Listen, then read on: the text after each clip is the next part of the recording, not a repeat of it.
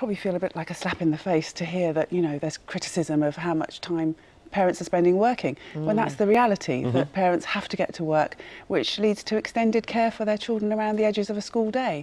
Um, but I do think we can't lose sight of the fact that parents do need to spend as much time as possible with their children, but it's also quality of time. Or being more efficient with your time. I think so. I think it's about thinking smarter because you know, if you think about the edges of a day, you have to take your child to school or to childcare. That, that's some time. You are at home.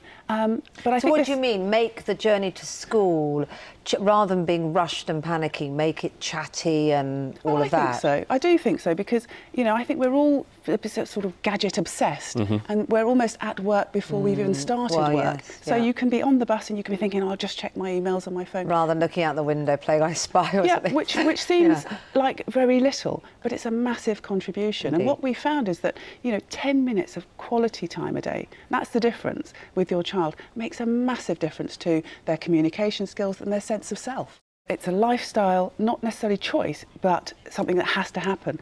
I do think that parents can't fall back on the idea that it's the long hours that are making me not spend time with my child. There will always be moments in the day when you can catch up on what's been happening.